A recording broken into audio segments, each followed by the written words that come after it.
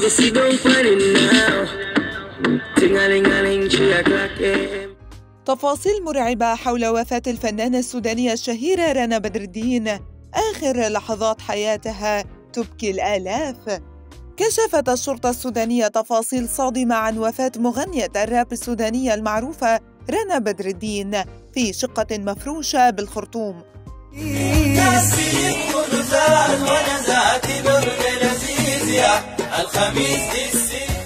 وفي التفاصيل اتضح بالتحريات أن رنا توفيت بعد تعرضها للضرب بآلة صلبة من قبل ابن مالك الشقة التي تسكن فيها والذي يبلغ من العمر 26 عاماً وسجل اعترافاً بالتحقيقات بارتكاب الفعل.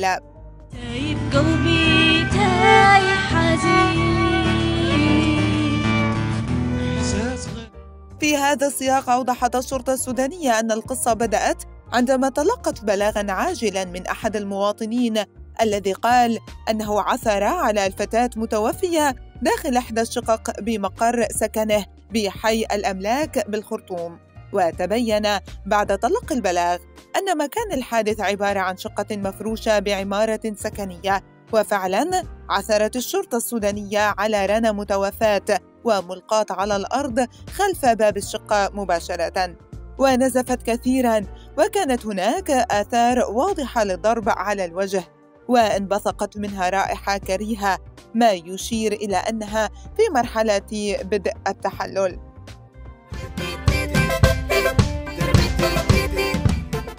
وأمرت الشرطة الفريق المختص بتصوير ورفع البصمات وجمع المخلفات من مسرح الحادثة. ورفع الجثمان إلى قسم الشرطة لتكملة الإجراءات القانونية قبل إحالته إلى التشريح لمعرفة أسباب الوفاة. وتمكنت شرطة المباحث والتحقيقات الجنائية بالخرطوم من إلقاء القبض على المتهم الأول ابن صاحب العقار المذكور. واعترف أن الحادثة بدأت بمشادة كلامية حادة بينه وبين المجني عليها رنا بدر الدين. ضربها على إثرها بقطعة خشب في وجهها ورأسها. المسافات البعيدة. غ- وقال المتهم إنه قام بتشغيل جهاز التكييف وأغلق الشقة عليها وكشف أن سبب المشادة بينهما يعود إلى أن المجني عليها أساءت إليه بألفاظ نابية.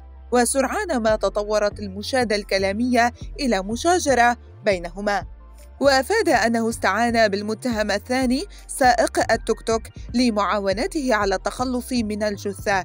واتضح من خلال الاستجواب أن المذكور يبلغ من العمر 26 عاما ويمتهن الأعمال الحرة. واعترف أن الحادثه المأساوية وقعت السبت الماضي 17 ديسمبر كانون الأول.